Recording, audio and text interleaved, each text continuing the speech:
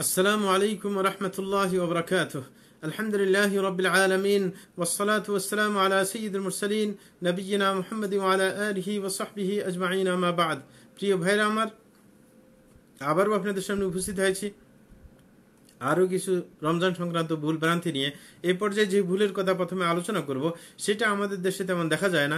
হ্যাঁ কিন্তু আরব দেশে দেখা যায়। সেটা হচ্ছে অনেক মুক্তাদিকে দেখা যায় সালাত তারাবি পড়ার সময় আপনি হ্যাঁ, অনেককে কোরআন হাতে নিয়ে কোরআন দেখে দেখে হ্যাঁ আপনার ইয়ে করেন মানে ইমামের পিছনে দেখতে থাকেন। হুম যে ইমাম কতটুকু কি পড়তেছে হ্যাঁ আপনার দেখে দেখে তার দিকে মনোযোগ দেন। হ্যাঁ এরকম। অনেকে মনে করে যে ইমামের ভুল হইলে সে বলে দিবে এরকম ভান আর কি। হ্যাঁ এরকম অনেকে করে থাকেন কিন্তু এটা আরেকটি ভুল। শেখ মোহাম্মদ সাল্লাহ ওসাইমিন এই ক্ষেত্রে বলেছিলেন যে কেউ যদি এই উদ্দেশ্যে হ্যাঁ, যে আপনার ইমামের ভুল ধরবে বা এই কারণে সে মানে কোরআন শরীফ হাতে নিয়ে তারপর এটা দেখতে থাকে এটা কিন্তু সুন্নতের খেলাপ। হ্যাঁ এবং তিনি বললেন এটার কয়েকটা কারণ আছে। তিনি কয়েকটা খুবই চমৎকার কারণ উল্লেখ করেছেন। এক নম্বর কারণ হচ্ছে যে নামাজের মধ্যে দাঁড়ানো অবস্থায় আপনার বুকের উপর হুম বাম হাতকে, বাম হাতের উপর ডান হাত রেখে বুকের উপর হাত বাঁধার কথা, এটা সুন্নত। তাইলে সে একটা সুন্নত কাজ সে করতেছে না। এটা গেল একটা। দ্বিতীয় নম্বর আরেকটা হচ্ছে যে সে কোরআন শরীফ যদি হাতে নিয়ে কোরআন শরীফ আপনার এরকম ভাবে ইমামের পিছনে কোরআন হ্যাঁ তার মোতাবাদ যেটাকে বলা হয়, তার অনুসরণ করে, ওই ক্ষেত্রে আপনার পৃষ্ঠা উঠাইতে হয়। পৃষ্ঠা উল্টাইতে হয় আবার বন্ধ করতে হয়, আবার এক জায়গায় রাখতে হয়, অথবা অনেকে বগলের নিচে রাখে, অনেকে পকেটে রাখে, তাইলে অনেকগুলো কাজ সে করল, তাইলে নামাজের মধ্যে অপ্রয়োজনীয়ভাবে এতগুলো কাজ করা, সেটাও আবার কিন্তু হ্যাঁ আপনার অনেক সময় নামাজ নষ্ট হওয়ার কারণ হয়ে যায়, অপ্রয়োজনীয় হইলে। তৃতীয় নম্বর আরেকটা কাজ হচ্ছে, হুম, যে সে বেশি ইয়ের কারণে নড়াচড়া করার কারণে নামাজের মধ্যে তার মনোযোগ থাকে না। আর মনোযোগ রক্ষা করা নামাজের গুরুত্বপূর্ণ একটি ব্যাপার। সুতরাং এটাও তার সমস্যা ঘটে যায়। চার নম্বর যে সমস্যা, সেটা হচ্ছে সেজদার দাগার দিকে তাকিয়ে থাকা হ্যাঁ আপনার দাঁড়ানো অবস্থায়, সেটা হচ্ছে সুন্নত। সুতরাং তার দ্বারা এই সুন্নতের কাজ হয় না। কারণ তার দৃষ্টি থাকে কোন দিকে? কোরআন শরীফের দিকে। সুতরাং এটা ঠিক হইল না। পাঁচ নম্বর যে দোষ সে করছে হ্যাঁ সে হচ্ছে যখন কোরআন শরীফের দিকে তাকিয়ে থাকে, ইমামের অনুসরণ করে কোরআনের দিকে তাকিয়ে হ্যাঁ আপনার তারাবিন নামাজের মধ্যে, তখন সে যে অনেক সময় মন এমনভাবে কোরআনের দিকে ধাবিত হয়েছে, সে যে সালাতে আছে, এটারও অনেক সময় খেয়াল থাকে না। হ্যাঁ তাইলে তো আর হইল না। নামাজের মধ্যে আর খুশু খুশু থাকল কোথায়? না, এটা বরং হবে যদি সে কোরআন না দেখে সুন্দর করে আপনার নাম, সেজদের দিকে তাকিয়ে মনোযোগ দিয়ে ইমামের হ্যাঁ আপনার আয়াতগুলো শুনে এবং সেটা বুঝার চেষ্টা করে হ্যাঁ মনোযোগ দিয়ে, তাইলে তাতে করে তার ফায়দা আছে। সুতরাং এই যে ইমামের পিছনে অনুসরণের জন্য কোরআন খুলে মুক্তাদের অনুসরণ করা হ্যাঁ সেটা কখনো আপনার ঠিক হবে না। এই পাঁচটি কারণে যেটা শেখ বলেছিলেন। কিন্তু একটা কথা আছে, যদি ইমাম সাহেবের স্মরণশক্তি কম হয়, তার পিছনে কারও লোকমা দেওয়ার জন্য হ্যাঁ এরকম কাউ কোনো হাফেজ না থাকে, তাইলে কোন একজন ব্যক্তি তার প্রয়োজনের ক্ষেত্রে তার অনুসরণ করতে পারে, এতে কোনো সমস্যা হবে না। পাঁচ নম্বর আরেকটি ভুল আপনার, আমাদের সমাজে চালু আছে, সেটা হচ্ছে আমাদের দেশে এখনও দেখা যায়নি, কিন্তু আরব দেশে এরকম ঘটে। সেটা হচ্ছে চার রাগাত একসাথে পড়া। মাঝখান দিয়ে না বসে আপনার তারাবির নামাজ চার রাগাত একসাথে পড়া এক সালামে। সেটাও কিন্তু একটা ভুল কাজ। শেখ মোহাম্মদ বিন সাল্লাহ সেমিন রহমতুল্লাহ বলেছেন, বলে যে এরকম করলে কেউ ইচ্ছাকৃত তার সালাদ কি নষ্ট হয়ে যাবে।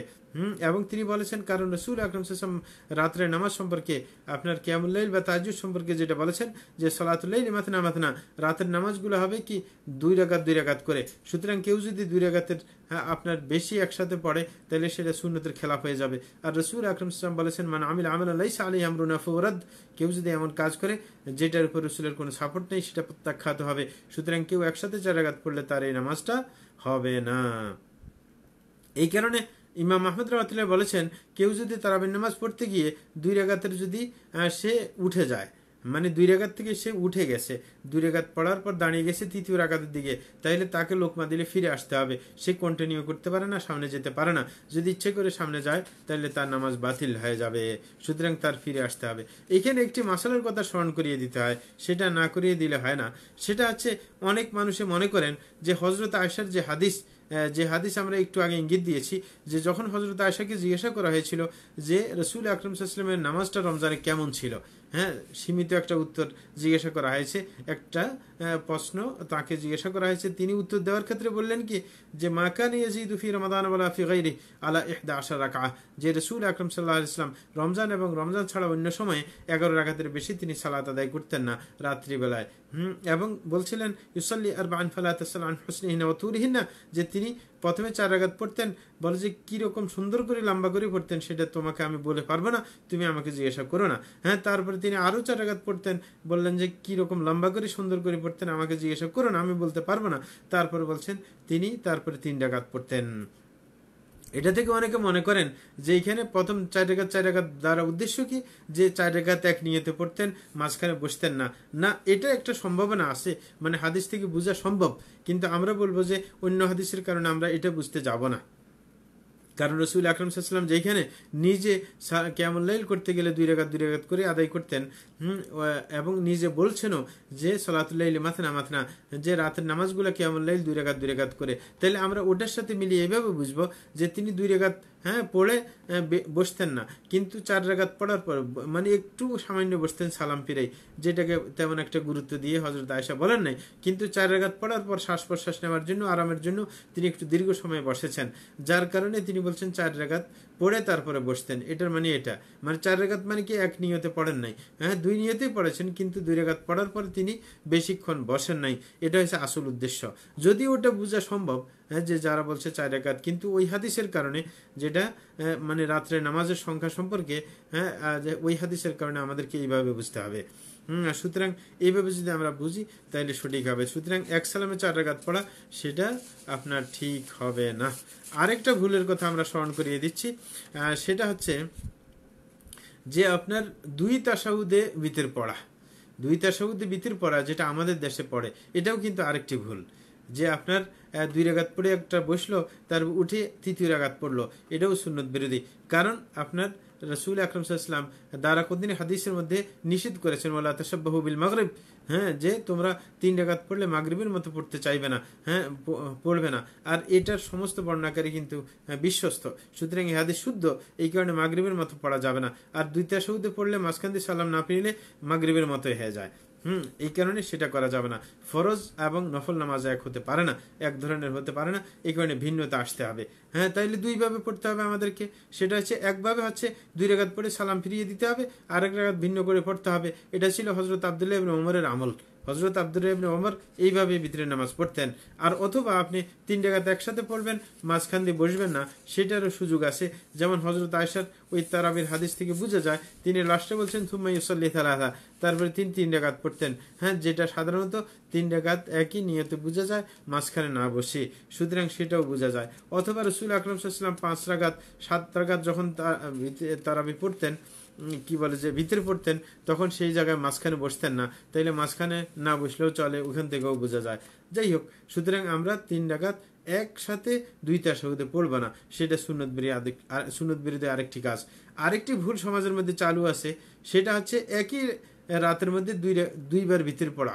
একজন মানুষ তো ভিতরে পড়ে ফেলল, তখন আবার সে তাজুদ পড়তে উঠল।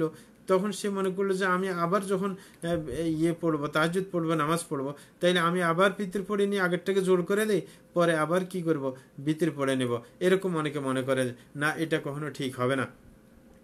কারণ হ্যাঁ রসুল আকরম হাদিসের মধ্যে বলেছে বলেছেন লাউিত্রান ফিলাইলা এক রাতে দুইবার ভিতরে চলতে পারে না। বরং সে কি করবে, যখন প্রথম রাখাতে ভিতরে পড়ে ফেলছে, তাইলে শেষ রাত্রে উঠে সে তার যতটুকু নামাজ পড়া সে পড়বে, আর ভিতরে পড়বে না। এটাই হচ্ছে আসল নিয়ম। হ্যাঁ তো সুতরাং এইভাবে সে করবে। আরেকটি ব্যাপার যেটা ভুল আমাদের সমাজের মধ্যে হ্যাঁ দেখা যায়, সেটা হচ্ছে যখন ভিতরের নামাজ সময় হয় মানে আপনার তারা বিশেষ তখন একজনে বলে দেয় যে বিদ্রের নামাজের জন্য ঘোষণা দেয়। হ্যাঁ কারণ তারা মনে করে যে এটার জন্য ঘোষণা দিতে হয়। নতুবা যদি নিয়ত আপনার এটার ভিন্ন করে না করে তাইলে তার নিয়তে হবে না, নামাজ নষ্ট হয়ে যাবে। না, এটা না। এই ভিতরে নামাজের সুন্নত তারাবির নামাজের সুন্নত। সুতরাং ওই একই রকম নিয়তে হ্যাঁ চলে যাবে। এতে কোনো সমস্যা নেই, কারণ এটার কোনো ভিন্ন দলিল নাই। রসুল আকরম ইসলামের যুগে এরকম কেউ করে নাই, যে স্মরণ করিয়ে দিচ্ছি যে এখন ভিতরের নামাজ হইবে। হ্যাঁ এরকম, হুম, এরকম কোনো সিস্টেম রসুল আকরম ইসলামের ছিল না, এবং সাহাবেদের যুগে এটা ছিল না। যখন রসুলের আমল পাওয়া যায় না, সাহাবেদের আমল পাওয়া যায় না তখন বিনা দলিলে কেন একটা কাজ আমরা চালু করতে যাব?